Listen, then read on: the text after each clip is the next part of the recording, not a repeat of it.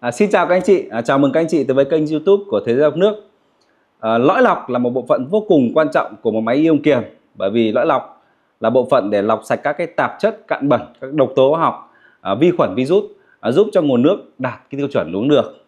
Vậy thì làm thế nào để có thể lựa chọn được một cái sản phẩm máy ion kiềm mà có bộ phận lõi lọc chất lượng?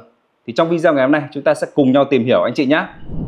À, có 3 tiêu chí để lựa chọn một à, lõi lọc của một máy ion kiềm chất lượng. À, tiêu chí thứ nhất là lõi lọc phải có màng lọc sợi rỗng. À, như các máy ion kiềm của Bantech thì tất cả các lõi lọc tinh thì đều có màng lọc sợi rỗng. À, màng lọc sợi rỗng có kích thước khe hở nhỏ hơn vi khuẩn. Vì vậy à, khi mà nước chảy qua lõi lọc mà có màng lọc sợi rỗng thì sẽ loại bỏ được toàn bộ các cái vi khuẩn các cái tạp chất cặn bẩn nhỏ nhất. Đặc biệt là nguồn nước đầu vào ở Việt Nam ấy, thì tiêu chuẩn à, vẫn còn thấp chưa đạt tiêu chuẩn nước được. Vì vậy à, khi mà lõi lọc có màng lọc sử, sử dụng thì sẽ đảm bảo cho nguồn nước khi mà qua lõi lọc sẽ đạt tiêu chuẩn uống được Đấy. hiện nay các cái máy ion kiềm của Bantech ấy, thì thế giới nước đang tặng cho khách hàng thêm là ba cốc lọc thô lắp ở ngoài máy pi của Bantech thì ba cốc lọc thô này có tác dụng là lọc trước các cái tạp chất cặn bẩn các cái bùn đất dỉ xét hoặc là các độc tố hóa học Đấy, để giúp cho lõi lọc của máy pi Bantech à, hoạt động được tốt hơn tuổi thọ được cao hơn. Tuy nhiên thì ba cái lõi lọc à, thô này không phải là bắt buộc. Không phải bắt buộc. Bởi vì lõi lọc đã có màng lọc sợi rỗng rồi thì thì nước đi qua lõi lọc đã đạt tiêu chuẩn đúng được. Anh chị nhé Đấy. còn à, các cái lõi lọc thông thường mà không có màng lọc sợi rỗng thì bắt buộc phải à, lắp thêm một cái máy nano trước máy ion kiềm Đấy. thì à, cái việc mà lắp máy nano trước máy ion kiềm đó là phải là phải bắt buộc. Bởi vì sao? Bởi vì là nếu mà không có máy nano đó thì nước sẽ chưa đạt tiêu chuẩn uống được. Và khi mà lắp máy nano trước máy ion kiềm thì nó có một số cái nhược điểm sau.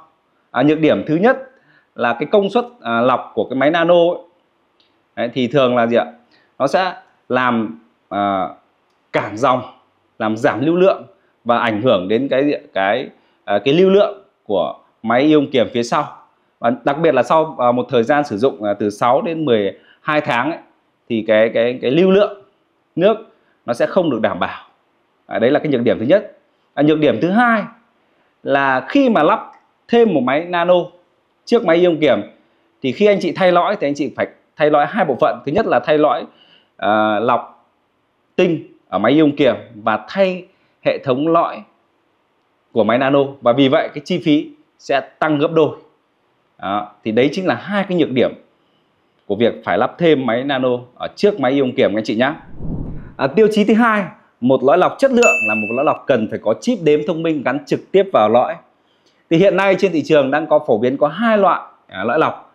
Loại thứ nhất là loại mà có gắn chip thông minh trực tiếp vào lõi như lõi lọc của máy Pi Bantech à, và loại thứ hai là loại lõi lọc thông thường là không có chip đếm thông minh.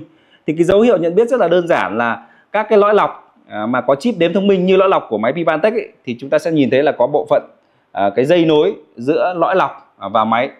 Còn à, lõi những lõi thông thường không có chip thông minh ấy, thì sẽ không có cái bộ phận dây nối giữa lõi và máy các chị nhá.